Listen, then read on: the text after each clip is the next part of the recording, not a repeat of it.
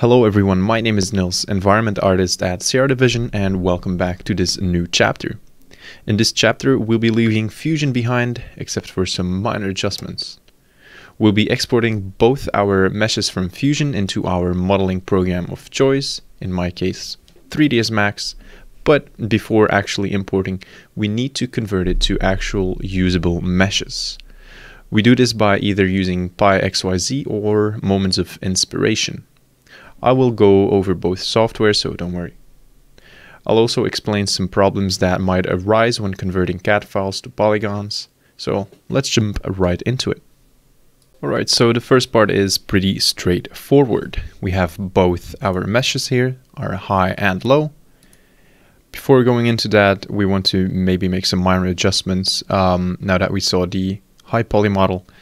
So we can basically just attach these two and make this all into one object because these lines and details will be easily baked down anyway, so we can save some polygons.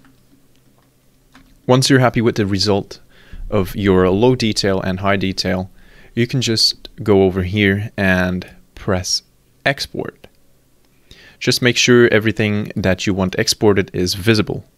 If there's other stuff visible in the scene, it would will export literally everything. So what you want to do is go to step file and you want to save it as a recognizable name, of course. In my case, I have the STP underscore model 88 low. And just click export.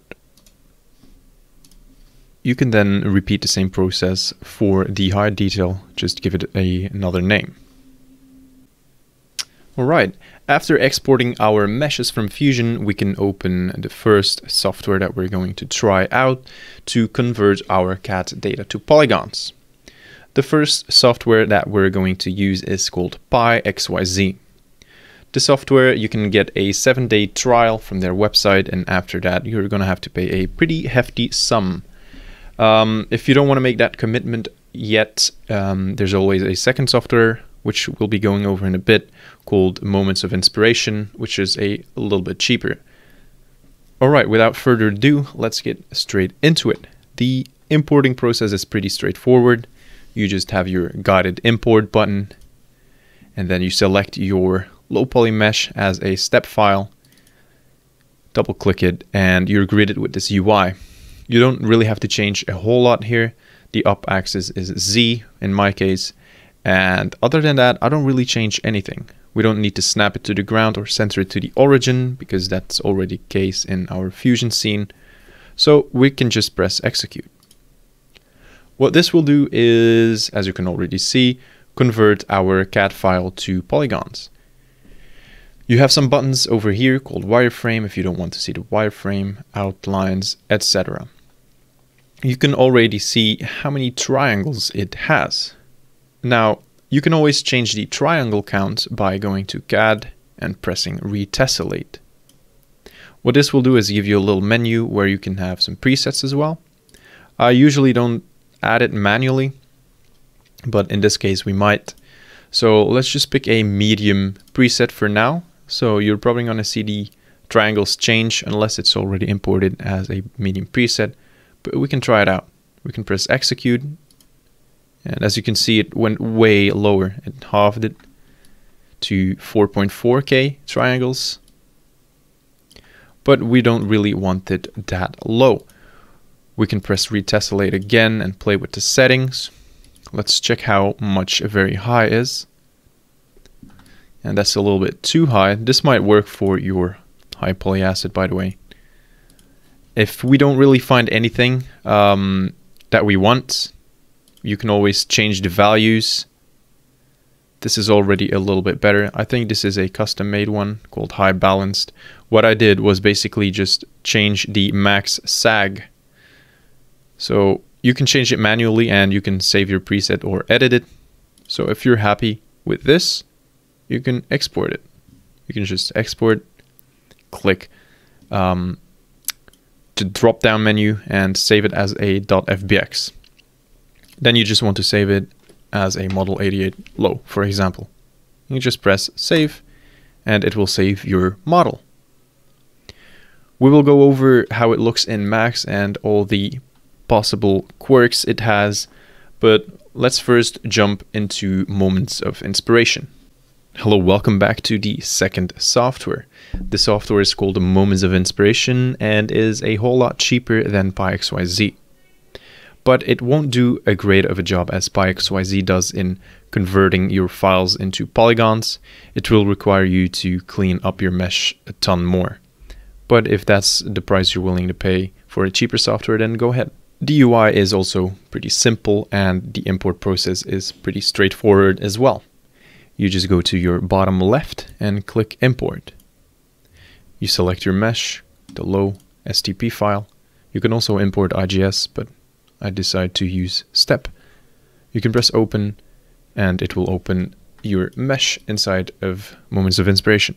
Now, as you can see, your mesh doesn't have polygons yet.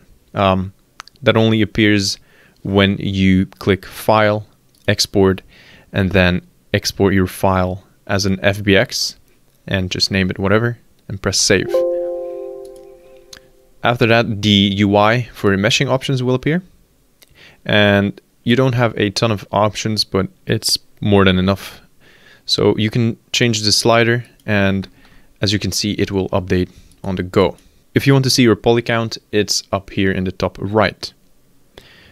Now, the mesh is one big n-gon. If you don't want n-gons, you can press quads, triangles, or triangles only. I would not advise doing that.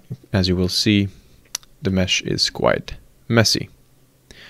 If you press n-gons, you have a greater control of how you want your mesh to look like. So before opening this menu, this will be set to zero. And you can see that this is very high poly. What I would advise you to do is focus on the big shapes first. So let's change the angle to about 8.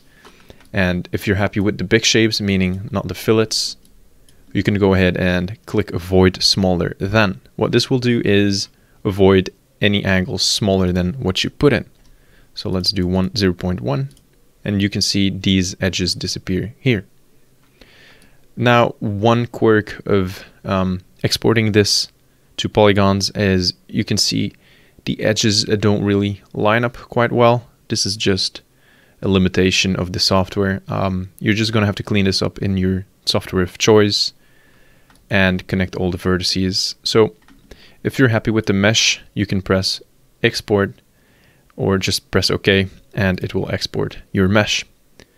We won't be using this mesh, but I will be going over the cleanup process for both um, so I see there. So once we imported our mesh um, from PiXYZ into our software of choice, you can see this is all one object. Um, not sure how it works in Blender, but in 3ds Max there's a script called elements to objects, which will just separate it based on um, the elements. So now you can see we have separate elements.